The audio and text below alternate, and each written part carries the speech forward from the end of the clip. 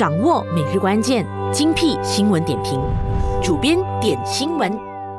十月的第一天，欢迎你收听主编点新闻，我是宝儿，我是志峰。第一则马上来带你关注和补选有关的新闻。选举委员会主席阿兹哈就宣布，在柔佛的丹荣比埃国会议席的补选呢，提名日就会落在十一月二号星期六，而投票日呢就会在十一月十六号，也是星期六。那竞选期一共是十四天，两个星期。那至于提前投票日呢，就会在十一月十二号，是星期二。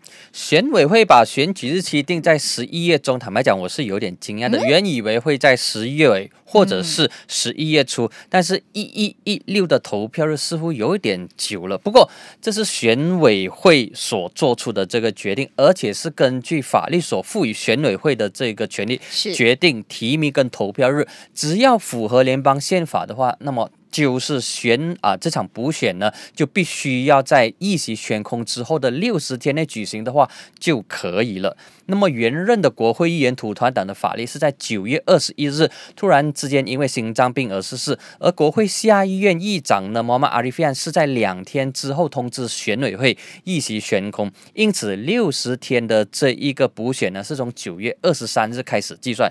那么一一一六投票是在六十天之内，所以他没有。有违法，就算反对党不满的话，也只能够质疑或者是批评选委会而已。但是在这个时候呢，乌统和马华的领袖就站出来质疑了选委会是不是有偏帮这个执政党了？不然这么巧，为什么提名和投票日分别就会刚好落在哦，就是马华和乌统的年度代表大会呢？马华总会长魏家强就说，马华大会是在十一月二号和三号，正好就碰上了一一零二的提名日。不过马华就愿意推迟这个大会来准备这个补选。至于乌统大会呢，就会在十一月十三号至十六号举行，刚好也是碰到投票日啊。乌统总秘书就是安努雅呢，就批评选委会不公正，选择在乌统大会期间进行投票，认为这是对西蒙有利。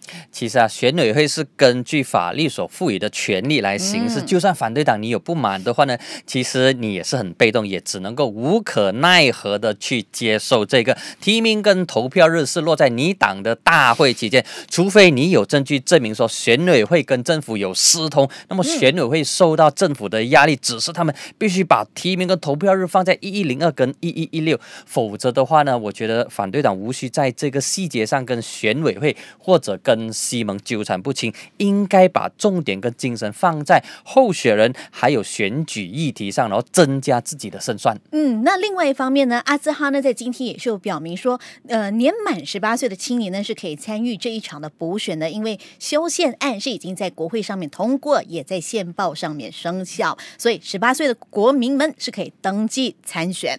只是说呢，他们的参选资格是不是获得批准呢？这个最后的决定权呢，就依然是落在丹荣比埃的选举官的手上。那选委会呢，就会和朝野政党沟通，然后再做出安排。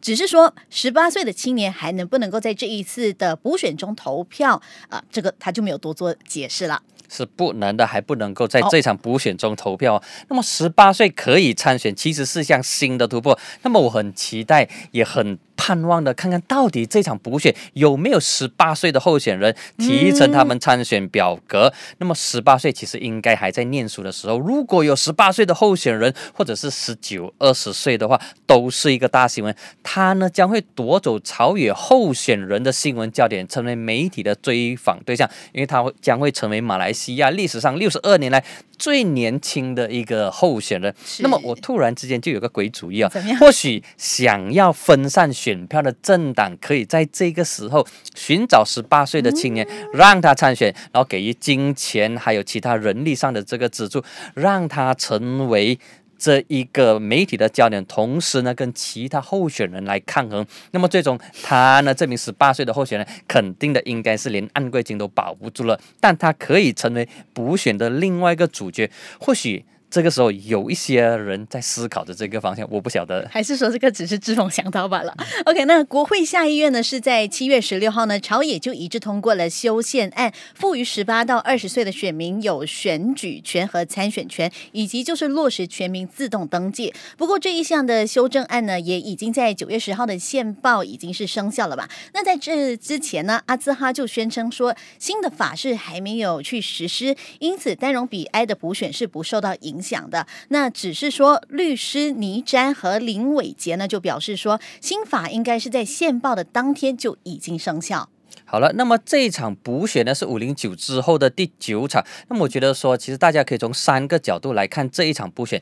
第一呢，当然就是候选人朝野政党他们将会派出谁来上阵。此前呢已经有很多的讨论，特别是在反对党，到底是乌统还是马华呢？这是第一个点。第二个点呢就是选战的议题，因为丹中 B I 呢它是半城乡的选区，地方议题比全国课题更容易引起当地选民的这个共鸣。那些贪污啊。腐败啊，One MDB 应该不会激起太多的这一个讨论，反而地方的。基础建设地方的发展，比如说道路啊、医院啊、码头啊之类，更受选民的关注。那么第三个点呢，就是领袖的参与度了，就是朝野最高领袖，比如说土团党的柔佛，到底是不是一团和气呢？在短短的一年半，其实还没有到一年半了，就换了两位大臣。那么亲马哈迪跟亲穆尤丁的派系呢，都存在着竞争的情况，而且新的柔佛土团党的主席，他不是柔佛州务大臣。他是前行政议员，那么在野党方面呢，就是乌伊结盟之后，如何影响当地的这个四十二八星的华裔选票？一党现在这个时候呢，应该不能够太过高调的在华裔呃的这些选区当中亮相。不要忘记哦，一党上次他虽然有参选，但是他们是失去按贵金的，所以这一场乌伊结盟之后的试金石，其实可以看看到底华社对他们的结盟有什么样的。这个反应了，是你的想法是什么？欢迎在下方留言。休息一下，下一则回来，我们带你关注我们很长的话题人物，就是教育部长马志里。掌握每日关键，精辟新闻点评，主编点新闻。